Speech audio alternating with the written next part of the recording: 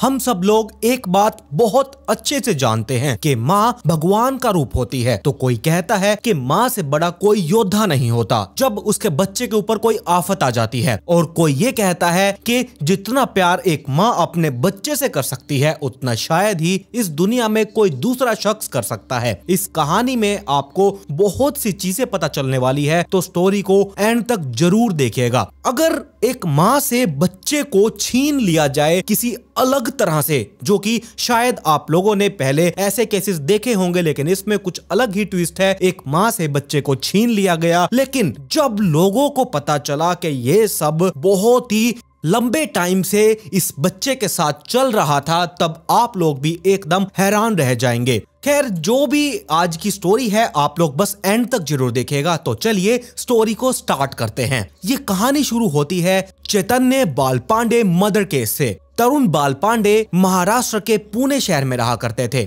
और उनकी अच्छी खासी नौकरी थी। साल 2000 में तरुण की नागपुर में रहने वाली राखी नाम की एक महिला से शादी हो गई और उनकी लाइफ हँसी खुशी से बीत रही थी। राखी तरुण को पहले ही नज़र में पसंद आ चुकी थी। राखी सुंदर होने के साथ साथ बेहद समझदार और सुलझी हुई लड़की थी। बेशक ही इन दोनों की अरेंज मैरिज थी, लेकिन इन दोनों की जोड़ी एकदम परफेक्ट थी। साल 2002 में इनकी खुशियाँ और भी ज़्यादा बढ़ गई जब उनके घर में एक प्यारे से लड़के का जन्म हुआ। माता पिता बनने के बाद राखी और तरुण बेहद खुश थे और उन्होंने बहुत सोचने के बाद अपने बच्चे का नाम रखा चैतन्य। राखी और तरुण दोनों चैतन्य से बहुत प्यार किया करते थे। उसे बहुत लाड प्यार दिया करते थे, लेकिन चैतन्य जैसे जैसे बड़ा होता जा रहा था। राखी और तरुण को एक अजीब सा डर सताने लगा था, क्योंकि जब तक चैतन्य छोटा बच्चा था, तब तक तो सब कुछ नॉर्मल था। वो एकदम बाकी बच्चों जैसा ही था। लेकिन जब वो धीरे धीरे चलने लगा या फिर थोड़ा थोड़ा बोलने की कोशिश करता था, तब उन्हें एहसास हो चुका था कि चैतन्य नॉर्मल बच्चा नहीं है, क्योंकि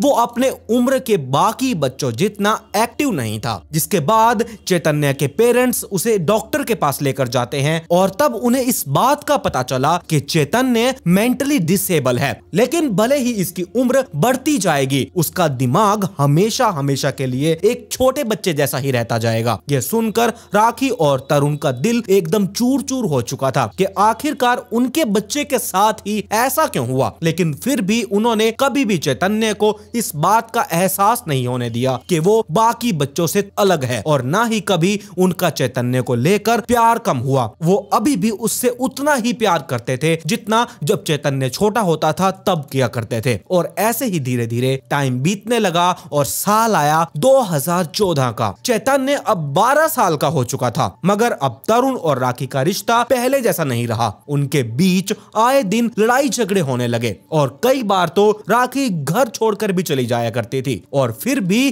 किसी न किसी तरह से तरुण चैतन्य के लिए हर बार राखी को मनाकर वापिस ले आया करता था। लेकिन अब ये झगड़े या फिर ये घर छोड़कर चले जाना हर रोज हर रोज की बात हो चुकी थी। जिसके बाद दोनों ने एक दूसरे से तंग आकर तलाक के लिए कोर्ट में अर्जी फ़ाइल कर दी। और राखी ने हर जाने के तौर पर तरुण से 25 लाख रुपए की मांग की, जो कि तरुण के लिए एकदम नामुमकिन थे। लेकिन इन सब के बीच चैतन्य अपने पापा के पास ही रहा करता था। और ये जो राखी थी, इसने चैतन्य की कस्टडी अपने पास लेने के लिए कोर्ट में अपील कर दी। फिर क्या था? अब चैतन्य राखी के साथ पुणे में ही एक किराए के फ्लैट पर रहने के लिए चला गया। तरुण और राखी की डाइवोर्स की प्रोसीडिंग अभी भी चल रही थी। तरुण ने राखी को कई बार रिक्वेस्ट की कि वो 25 लाख रुपए जितनी बड़ी अमाउंट उसे नहीं दे सकता, लेकिन रॉकी ने उससे साफ़ साफ़ बोल दिया कि ये उसकी समस्या नहीं है। तुम कहीं से भी 25 लाख रुपए का इंतज़ाम करो और मुझे दो। इसके अलावा भी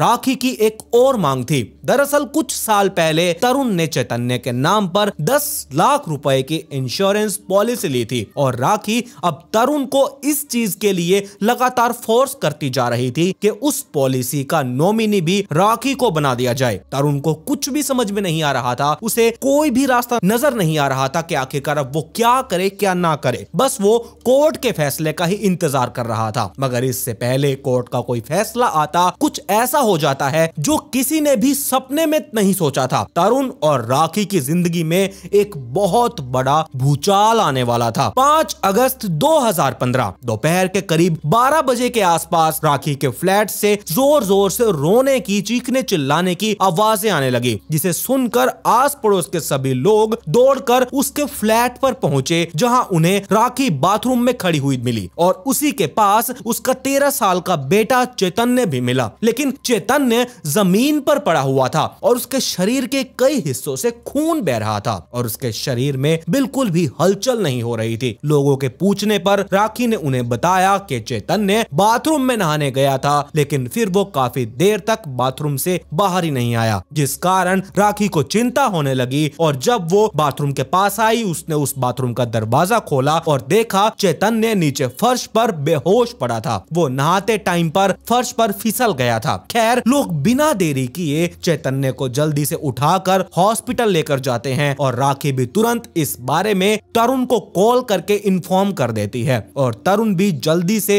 हॉस्पिटल पहुँचता है और अपने बेटे के बारे में लगातार पूछता है। लेकिन इससे पहले बहुत देर हो चुकी थी, चैतन्य को उसी टाइम डॉक्टर्स ने मृत घोषित कर दिया था। तरुण और राखी को जब ये पता चला, तब मानो उनकी तो दुनिया ही उजड़ चुकी थी, क्योंकि उनका इकलौता बेटा, जिससे वो इतना प्यार किया करते थे, वो कभी भी उनके पास अब लौट कर नहीं आने वाला था। तरुण और राखी किसी न किसी तरह से अपने आप को समझा रहे थे, बस कोशिश कर रहे थे और वो कुछ कर भी नहीं सकते थे। पर तभी डॉक्टर्स पुलिस को कॉल कर देते हैं और पुलिस भी अब हॉस्पिटल पहुँच जाती है और वो लोग चैतन्य के पेरेंट्स को ये बताते हैं कि वो लोग चैतन्य की बॉडी का पोस्टमार्टम करवाना चाहते हैं। ये सुनकर राखी और तरुण को काफ़ी ज़्यादा अजीब लग रहा था, क्योंकि उनके बेटे की मौत का रीजन तो उन्हें पता था कि वो बाथरूम में फिसल गया था। तो फिर पोस्टमार्टम करवाने की क्या ज़रूरत है? तब डॉक्टर्स ने उन पेरेंट्स को बताया कि उन्हें शक है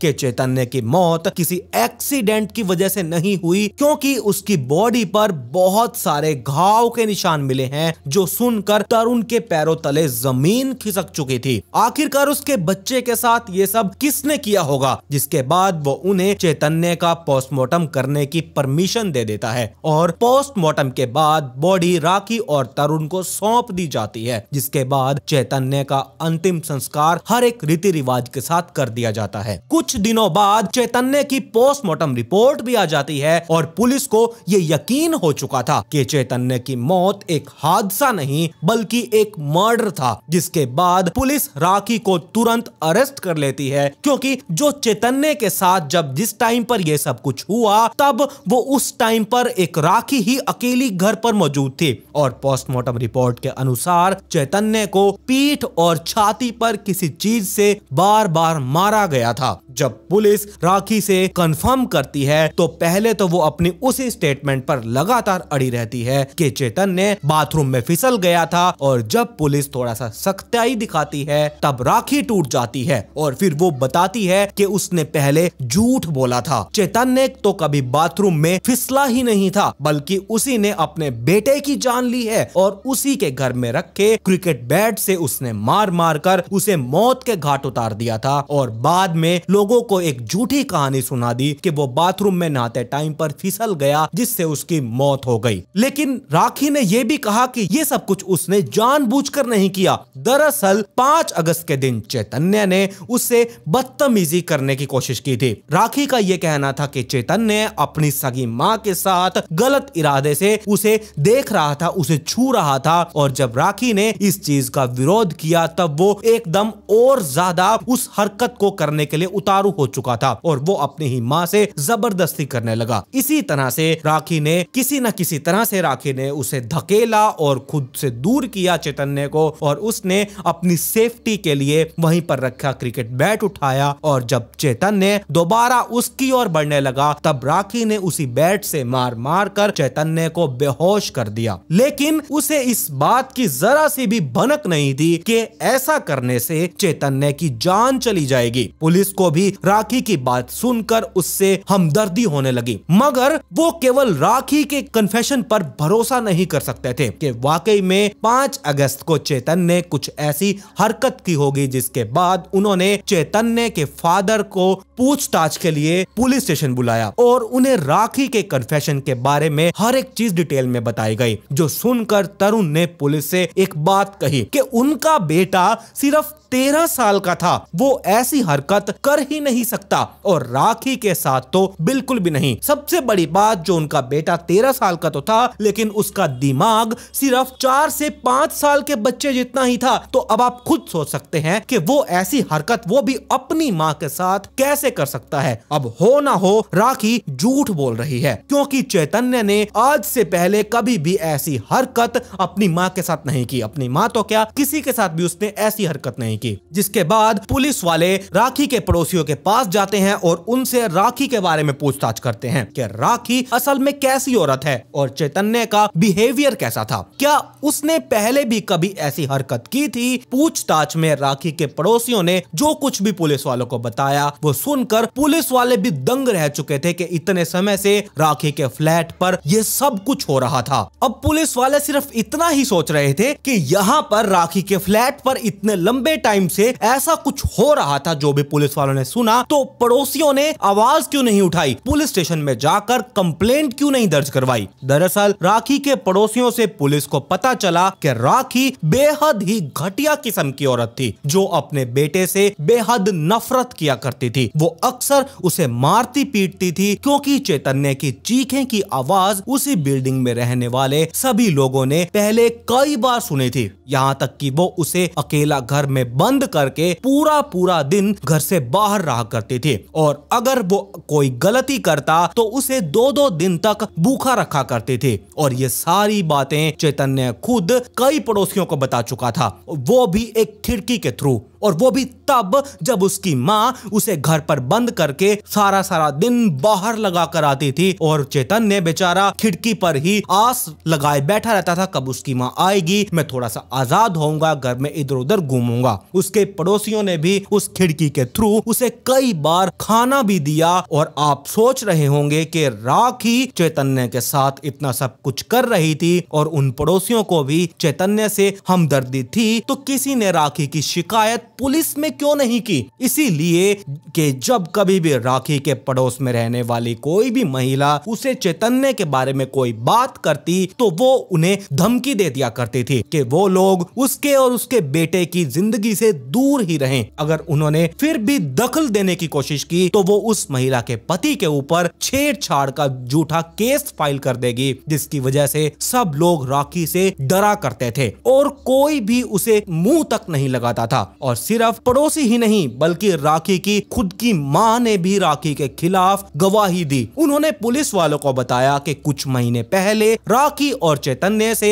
मिलने के लिए कुछ दिन वो पुणे गई थी, और तब उन्होंने देखा था कि राखी चैतन्य के साथ कैसे जानवरों की तरह पेश आया करती थी। उसने राखी को कई बार समझाया, लेकिन जब राखी नहीं मानी तो उन्होंने राखी से ये कह दिया कि अगर तुम अपने बेटे का ध्यान नहीं रख सकती तो मैं इसे अपने अपने साथ नागपुर ले जाती हूँ। लेकिन राखी ने तब अपनी माँ तक को भी धमकी दे डाली कि अगर उन्होंने ऐसा कुछ करने का सोचा भी तो उनके ऊपर किडनैपिंग का केस कर देगी, जिस वजह से वो भी मजबूर हो चुकी थी और वो भी चैतन्य के लिए कुछ भी नहीं कर पाई। अब इतने सारे लोगों के स्टेटमेंट्स लेने के बाद पुलिस वाले एक बार फिर से राखी से पूछताछ करते हैं और इस बार वो पहले उसकी अच्छे से खातिरदारी करते हैं और फिर उससे सवाल जवाब करना शुरू कर देते हैं। इस बार राखी फाइनली सच बोलती है। तो बात दरअसल ये थी, राखी का अपने ही फ्लैट के मालिक के साथ अफेयर चल रहा था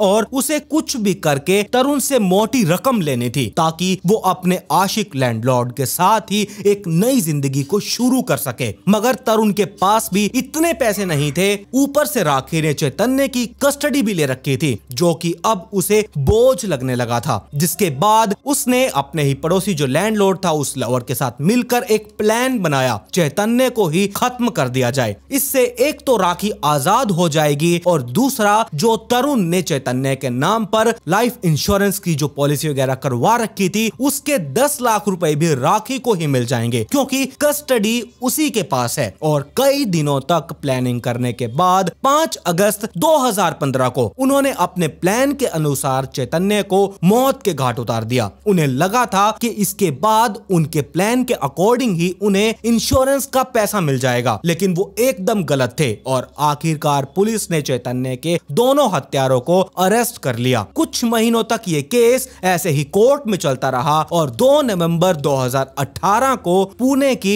सेशन कोर्ट ने राखी को अपने ही बेटे के कत्ल के जुर्म में दोषी माना और उसे 10 साल की सजा सुना दी गई। अब जो मैंने शुरू में कहा था कि एक माँ ही होती है जो कि अपने बेटे को इतना प्यार कर सकती है, उसके ऊपर कोई मुसीबत आ जाए तो वो पहले ही कूद पड़ती है। लेकिन इस स्टोरी से आप लोगों को क्या लगा, आप लोग मुझे कमेंट सेक्शन में ज़रूर बताइएगा। मैं तो यही कहूँगा कि हर माँ भगवान नहीं होती। कुछ लोग बहुत ही लालची होते हैं, वो अपना पर आया कुछ नहीं देखते, बस उन्हें पैसों से ही मतलब होता है। तो आप लोगों की स्टोरी के बारे में क्या राय है, मुझे अपनी राय कमेंट सेक्शन में ज़रूर दीजिएगा। और अगर आज आप नाइट फाइल्स पॉडकास्ट चैनल पर पहली बार आए हैं तो चैनल को सब्सक्राइब कर दीजिए। साथ में नोटिफिकेशन बेलाइकन को दबाना बिल्कुल मत भूलिएगा। मेरी इंस्टाग्राम आईडी आप लोगों की स्क्रीन के ऊपर है, इसका लिंक नीचे डिस्क्रिप्शन में भी दिया हुआ है। जाइए और जल्दी से इंस्टाग्राम आईडी को फॉलो कर लीजिए। खैर, पिछली वीडियो का shout out at the rate Jyoti Joshi को कमेंट पिक में to a shout out in next video मिलते हैं ऐसी ही एक और चुका देने वाले इंटरेस्टिंग स्टोरी के साथ।